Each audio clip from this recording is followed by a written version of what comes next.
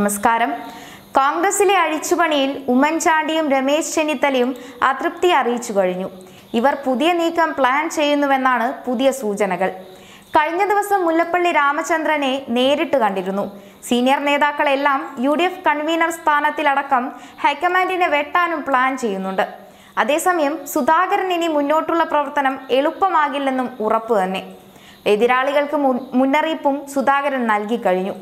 കോൺഗ്രസിലെ അടുത്ത നീക്കങ്ങൾക്കായിട്ട് ഉമ്മൻചാണ്ടിയും രമേശ് ചെന്നിത്തലയും മുല്ലപ്പള്ളി രാമചന്ദ്രനെ കണ്ടെന്നാണ് സൂചനകൾ. രാഹുൽ ഗാന്ധിയുടെ സമീപനത്തിലെ പ്രതിഷേധം ഈ കൂടിക്കാഴ്ചയിൽ ചർച്ചയായെന്നും സൂചനയുണ്ട്.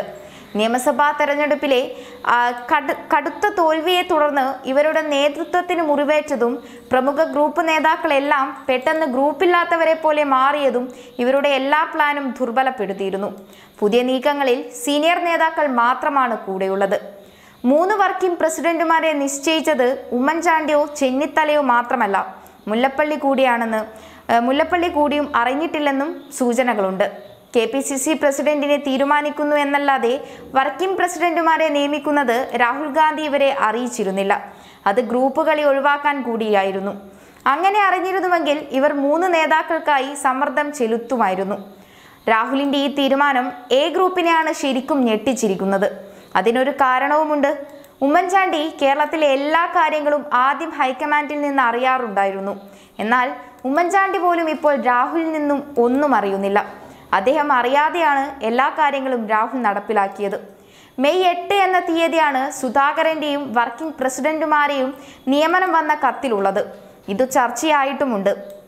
പുതിയ നിയമനത്തെ സ്വാഗതം ചെയ്യുമ്പോഴും ഹൈക്കമാൻഡുമായി വളരെ അകന്നിരിക്കുകയാണ് ഗ്രൂപ്പ് മാനേജർമാർ. സുധാകരൻ ജൂൺ പതിനാറിന് ഔദ്യോഗികമായി ചുമതലയേൽക്കും കടുത്ത നടപടികളിലേക്കാണ് പാർട്ടിക്കായി സുധാകരൻ നീങ്ങുന്നത്. ഗ്രൂപ്പിനി കോൺഗ്രസ് പാർട്ടിക്കുള്ളിൽ നടപ്പില്ലെന്ന് സുധാകരൻ പ്രഖ്യാപിച്ചു. ഗ്രൂപ്പിസം അവസാനിപ്പിച്ചിരിക്കുമെന്നും അദ്ദേഹം പറയുന്നു. അതോടൊപ്പം പാർട്ടി വിരുദ്ധ പ്രവർത്തനം കണ്ടാൽ നിഷ്കരുണം എന്താ അച്ചടക്കം നടപടി ഉണ്ടാക്കുമെന്നും സുധാകരൻ വ്യക്തമാക്കി.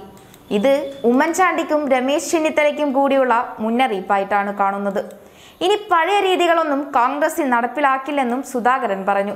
അഭിപ്രായം പറയാൻ ഇനി ഗ്രൂപ്പും വേണ്ട. ഗ്രൂപ്പിന്റെ അംഗസംഖ്യ കൂട്ടാനാണ് ഇതുവരെ ജംബോ കമ്മിറ്റി ഉണ്ടാക്കിയിരുന്നത്. അതൊന്നും ഇനി വേണ്ട.